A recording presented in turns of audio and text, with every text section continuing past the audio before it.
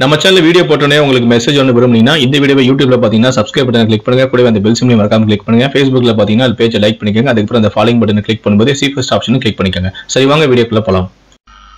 சென்னை அடையாறு சாஸ்திரி நகரைச் சேர்ந்த இருபது வயது கல்லூரி மாணவி அடையாறு போலீஸ் துணை கமிஷனான விக்ரமிடம் புகார் ஒன்றை அளித்துள்ளார்.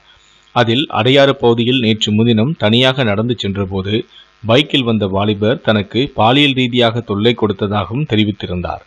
இது குறித்து சாஸ்திரி நகர் போலீசாரும் வழக்கு பதிவு செய்து சம்பவ இடத்தில் உள்ள சிசிடிவி கேமரா பதிவுகளை ஆய்வு செய்து விசாரணை மேற்கொண்டனர். அதில் பூந்தமல்லி ராஜா அக்ரஹாரம் பகுதியைச் சேர்ந்த சரண் வயது இருபத்தொன்னு என்பதும் தெரிய வந்தது.